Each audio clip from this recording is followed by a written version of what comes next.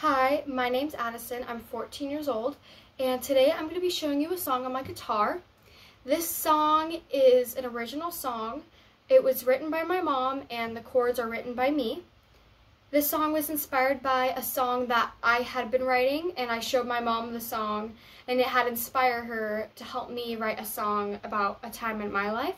So, yeah, the chords are written by me, and the lyrics are written by her. This song is unnamed, but it has a chorus and verses.